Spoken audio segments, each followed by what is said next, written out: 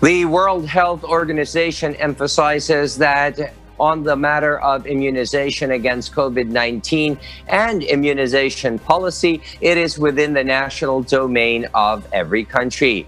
At a media briefing on Monday in Geneva, Switzerland, Dr. Bruce Aylward, senior advisor to the World Health Organization Director General, made it clear that the decision on whether immunization against coronavirus disease 2019 would be made at the national level. He said WHO's part is to give guidance to countries on the vaccine rather than making immunization a requirement. But um, clearly, the uh, what we're looking for here is the greatest possible acceptance of a vaccine and, and, and that vaccine-seeking behavior. So um, our work will really emphasize ensuring people understand the benefits of the vaccines, the safety of vaccines, the quality of vaccines, and that we can encourage as much as possible the uh, seeking of, uh, of, uh, of, of vaccines rather than mandatory requirements.